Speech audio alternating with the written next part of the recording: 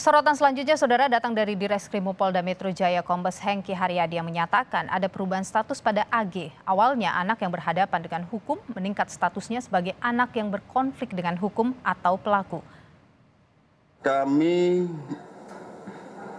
menambah konstruksi pasal baru terhadap tersangka-tersangka ini. Ya, kemudian yang kedua ada perubahan status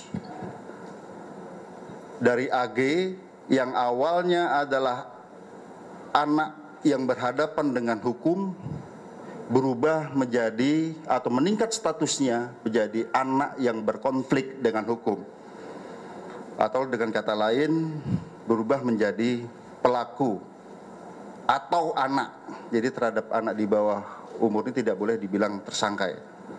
Jadi yang kami perlu jelaskan.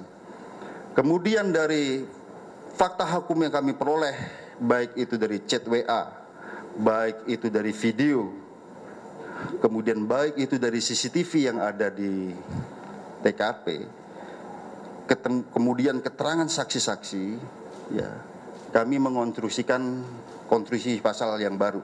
Nah sebelum kami jelaskan, kami juga perlu menjelaskan di sini ternyata pada awalnya para tersangka ini ataupun orang yang ada di TKP tidak memberikan keterangan yang sebenarnya.